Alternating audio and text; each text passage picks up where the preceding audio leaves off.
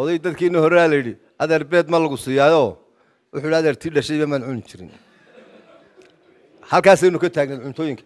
Wuxuunu beriis iyo baastiyo hilibun baynu ka naqaanay.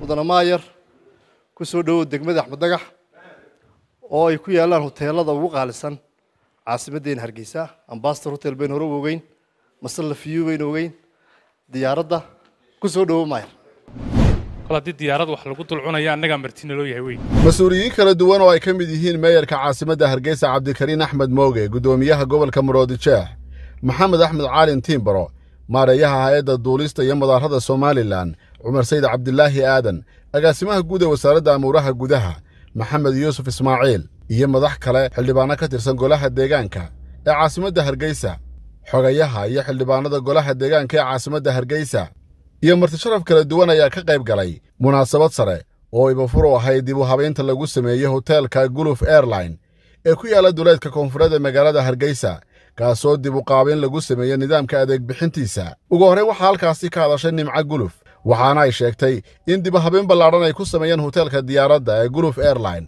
islamarkaasina dadweynaha ay ku soo dhoweynayaan adeegyada cusub ee hoteelku uu dib u bilaabay sidoo kale waxgaradka iyo xildhibaannada ka hadlay goobtaasi ayaa waxay bogaadiyeen hoteelka diyaaradda ee loo yaqaana guluf airline ee ku yaalla magaalada hargeysa iyo doorka uu ku leeyahay hannaanka dalxiiska ee caasimadda gaar ahaana agaasimaha guud ee wasaaradda amuuraha gudaha maareeyaha hay'adda duulista barasaabka gobolka muroodijeex xildhibaan siciid jaamac oo ka tirsan golaha deegaanka iyo meerka caasimadda hargeysa ayaa dhammaantoodba waxay bogaadiyeen adeegga lagu hayo hoteelka guluf airline iyo doorka uu ku leeyahay nidaamka adeegyada hoteellada ee caasimadda iyagoo dadweynahana ugu baaqay in wakhtigooda ay ku qaataan xilliyada ay fasaxa yihiin. Maantiinba soo dhowaada.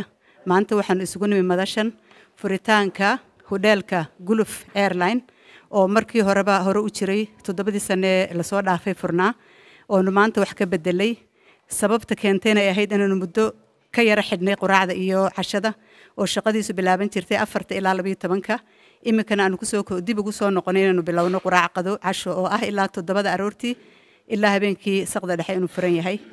Marka wax badan aanu ka bedelnay cuntooyinka aanu wax badan ka bedelnay muxuu ahaa meesha quruxdeeda oo hoolkan aanu ku soo kordhinay xafladaha lagu dhigo sannadkii u dambeeyey oo maxay hurdo la seexdo ku soo kordhinay oonu ku soo kordhinay abaartimentiyo isaga in yar dambeeya oo iyaguna goglan oo guest house ah marka martideeda waxaanu ka codsanaynaa wixii intii macaamiisheedii nagu xidhnayd iyo inta cusubba inay maxay tahay si gacmo furan noogu soo dhowaadaan hodheelkeennan guluf oo runtii meel wanaagsan ku yaalla oo aad u qurux badan oo hawada iyo naacawda ka dhacaysaana fiican tahay ciddii timaadaana ku raaxaysanaysa ama ku nasanayso. Waa idin soo dhoweynaynaa waxaanu idinku soo dhoweynaynaa hudheelkan guluf airline oo laga bedelay wax badan. Hoteelku waa hoteel ka duwan dhammaan hoteellada dalka ka jira waana hoteel diyaarad laga sameeyey. Sidoo kalena madaarka caasimaddana la jaara. Dadka lihna ay ahaayeen. Dadkii dhulkii ugu badnaa madaarka markii la xidhayey laga qaaday. Aniga markaa munaasabad gaara bay ii tahay. Kol haddii diyaarad wax lagu dulcunaya annagaa martina loo yahay wey hudheelkuna wuu ka magac weyn yahay. Hudheello in badan amba muddo dheer somalilan ka shaqaynayey. In yar oo kooban buu magaciisu guud ahaan somalilan oo dhan uu kaga caanbaxay. Ujeeddada uu caanka u noqday amaba uu magaca uga weynaadayna wax kale maahae waa diyaaraddaa runtii dhex taalla. Aad iyo aad baan idiin soo dhoweynayaa dhammaantiin. Kuna mahadsantihiin inaad nala furtaan maanta hoteelkan ku soo kordhay degmada axmeddagax waxaa kaloo aanu halkan uga ducaynayaa qoyska. Maalgelinta sameeyey hoteelkana furay ilaahay ha u barakeeyo. Ilaah u barakeeyo. Mudane maayar ku soo dhowow degmada axmeddagax oo ay ku yaallaan hoteelada ugu qaalisan caasimaddeena hargeysa ambastor hotel baynu hore ogeyn masalla fiyu baynu ogeyn diyaaradda ku soo dhowow maayar. Hoteelkuna waa meel caano oo hargeysa ku soo mijabaxsadaan hawo fiicani ka dhacayso. Marka waxaan rajeynayaa dee dadka reer hargeysana inay hoteelada marar badan baan sheegay meherada waa la furi karaa.